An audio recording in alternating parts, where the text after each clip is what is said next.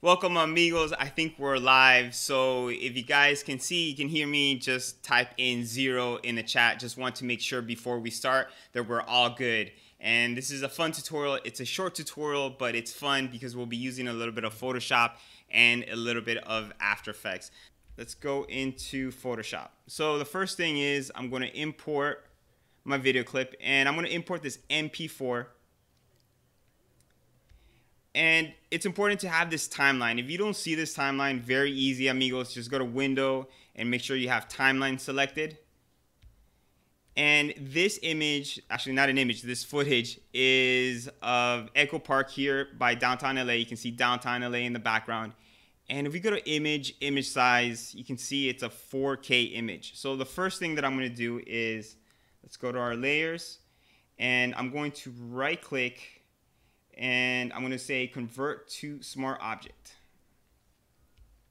And there's a couple of cool tools that we can do. Now that we have a smart object, we can add any of these filters from the filter gallery. So we can go in and the one that I used for the thumbnail that you guys saw was here, this dry brush. They have a watercolor effect, but I wasn't really pleased. You can see that it's actually taking a long time to load because it's 4K. So this is what I'm gonna do. I'm gonna go ahead and I'm gonna trim here with the scissors. So I'm gonna click here, trim, I'm gonna delete this, and you know, just do a little bit of trimming. So let's go down here and let's trim. I'm gonna delete this. Now that we have it as a smart object, what we can do is we can go ahead and we can scale it down. So let's just scale it down to 1920 by 1080. And this should be a lot easier. So let's go back to filter, to the filter gallery. And the one that I used, like I mentioned, was dry brush, but it's cool. Like definitely experiment. You know, you can go ahead to use graphic pen. You can use charcoal, Conte crayon. There's there's a lot of different different filters, and some of them you'll see them in After Effects. So some of them they double up in After Effects. But for this one, I use dry brush you can play around with the settings, but these are the settings that I used and just hit OK. So what it does is since it's a smart object, it'll apply it to all your frames. If you don't convert it into smart object, it, it would only it's only going to do it for one frame. But since you have it as a smart object, it's going to globally apply it. So if we scrub through, you see that it takes a while to load each each frame you can see that it's applying it applied the watercolor. Now to export it, pretty easy.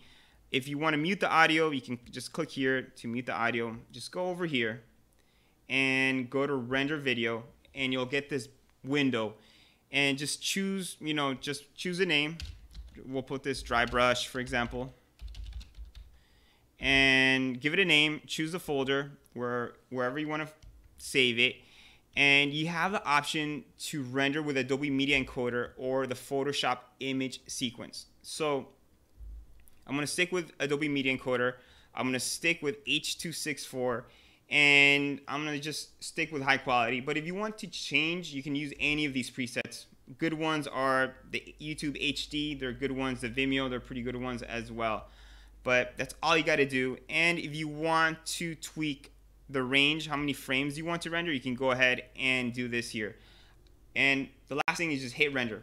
This process I already did, so I'm not gonna render it. Let me just cancel this. Let's continue. Let's go into After Effects. And here is the rendered, the rendered video.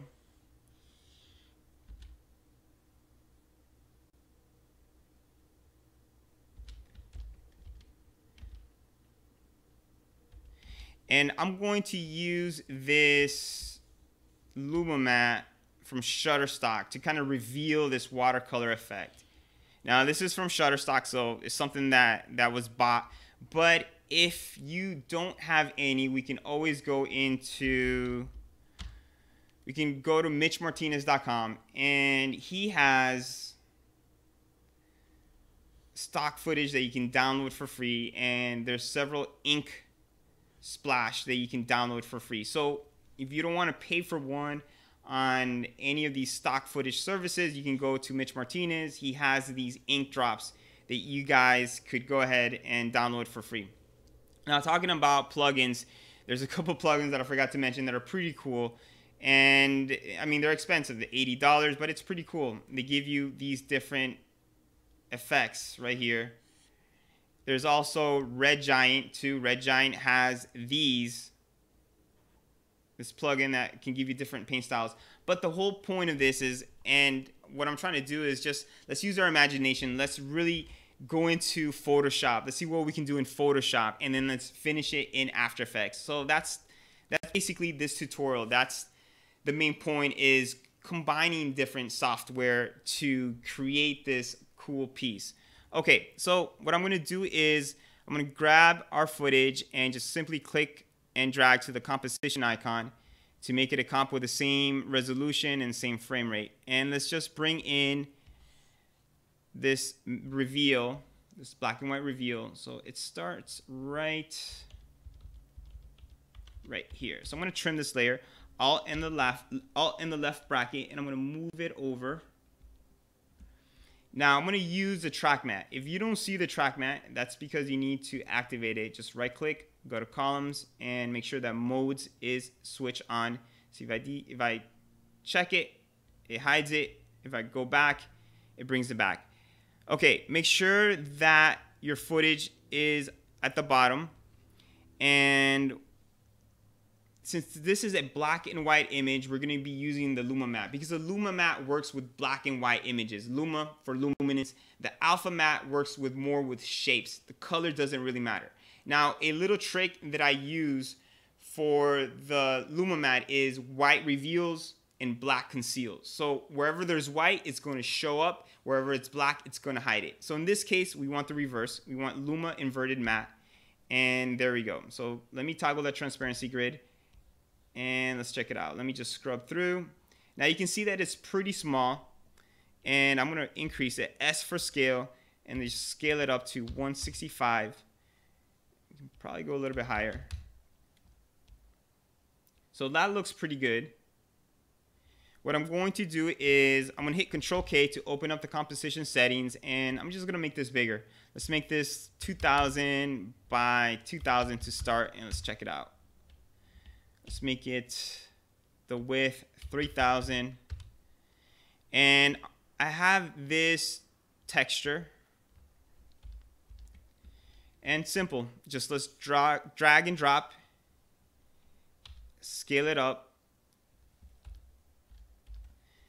and let's go ahead and select our footage and let's just change the blending mode. We can change it to, for example, experiment with any of these, but we can go and hit multiply so it'll blend in nicely with our background texture.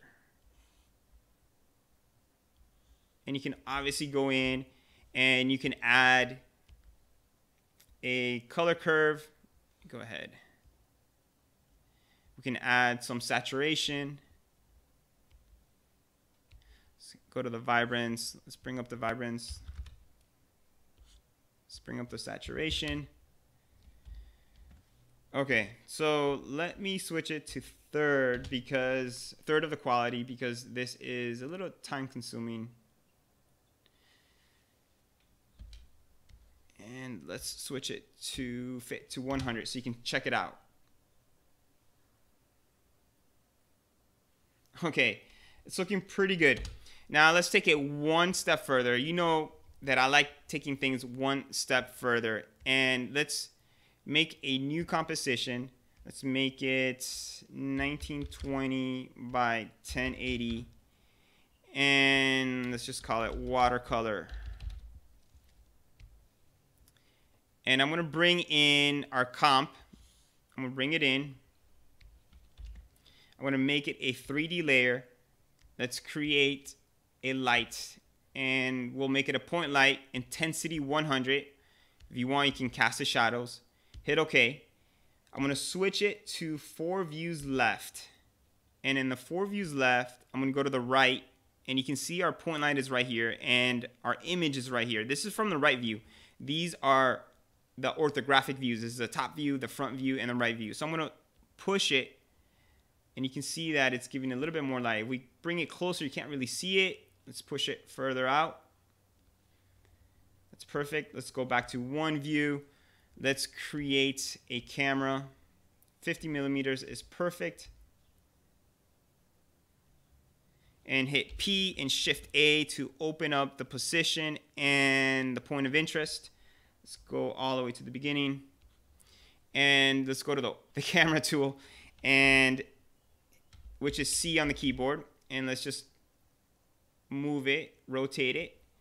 Let's go to five seconds and then let's rotate it here.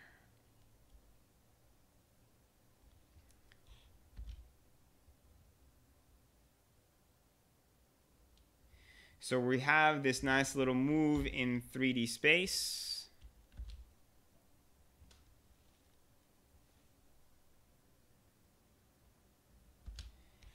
And if you want, we can go ahead, click on the text tool. Let's type in Los Angeles. Let's make this a 3D layer. Let's move it up.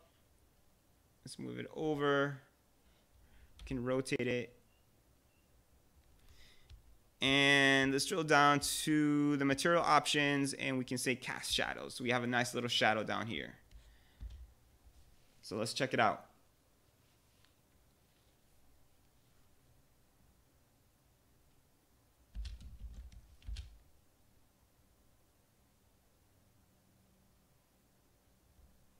Perfect. And then we can go back and just add some easy ease to the camera move. And that is it. Let's do it one more time.